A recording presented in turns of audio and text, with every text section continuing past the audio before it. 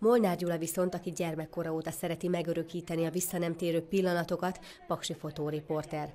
Az atomvárosról készített fekete-fehér képeiből készült könyvét is megvásárolhatta a művészetpártoló közönség. Főként milyen témájú képeket szoktál készíteni, illetve mi ihletett arra, hogy mi adta az ihletet, hogy elkészítsél egy ilyen könyvet?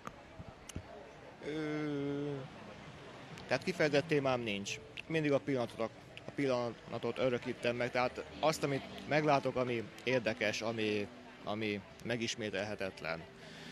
A könyvvel kapcsolatban láttam egy kis hasonló kiadványt a New Yorkról, egy ilyen kis fekete-fehér könyvet, és akkor ötletet, hogy ezt paksol is talán meg tudom csinálni. Ez három éve történt, két éve megcsináltam a könyvet, a, a, a könyv minta, tehát egy ilyen kis mintapéldányát, és azóta húzódott, húzódott az idő, míg a múlt év decemberében az önkormányzattól kaptam támogatást, és, és most arra készült el. És mik a terveid az elkövetkezendő időszakra? Tervezel még ilyen könyvkiadást? Igen, tervezek könyvkiadást, ennek a könyvnek a, a folytatását, egy második részét, valamint Dunakömlődről egy hasonló kiadvány, és ha időm engedi, még a Dunaszentgyörgyről, szülőfalukról szintén.